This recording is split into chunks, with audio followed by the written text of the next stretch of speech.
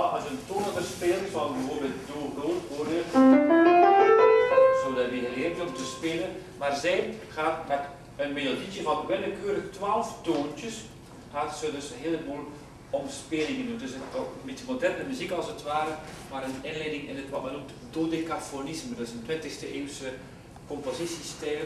En uh, Maiken heeft dat helemaal in dat eentje te uitvoeren. We dus eerst het thema horen, 12 noten, dan dus van alles mee, dat omdraaien, een beetje niet schudden en zo.